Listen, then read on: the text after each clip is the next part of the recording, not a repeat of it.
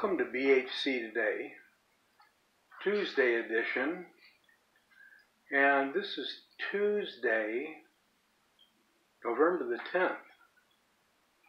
And it's kind of fitting that this is my day to do BHC Today because November the 10th is a very special day for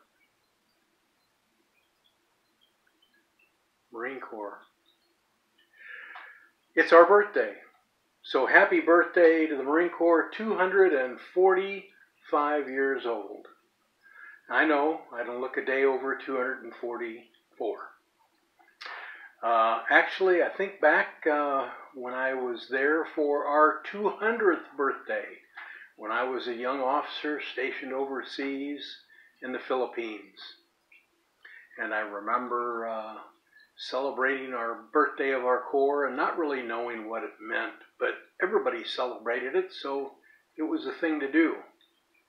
Well, as I look back on it now, 45 years later, and many, many years of experience as a Marine later, I've come to understand very clearly the importance of celebrating our Corps' birthday and the importance of recognizing those that went before us, those that served, and those that never returned. But I also think of a date even longer ago, 2020 some years ago, during the life of our Savior Jesus Christ.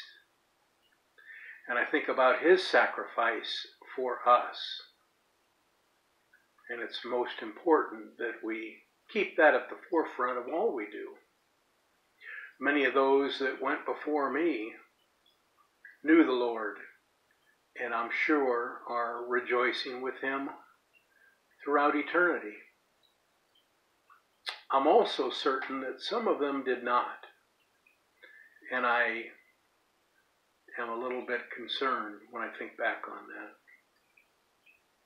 So I think as we reflect on that, what lesson did I learn out of that? Well, I learned that live today like it's going to be your last, because it just may be. And live today like it may be your last day on earth, and your heavenly future depends on it. And so let's all remember that greater sacrifice made for each and every one of us, our Lord and Savior Jesus Christ. We are all one of that body, and we all celebrate the birth of Jesus. And that's become our Christmas time.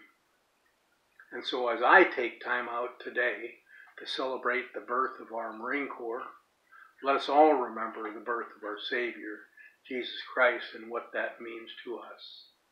And so, on this 245th birthday of the United States Marine Corps, I say, Happy birthday, Marines.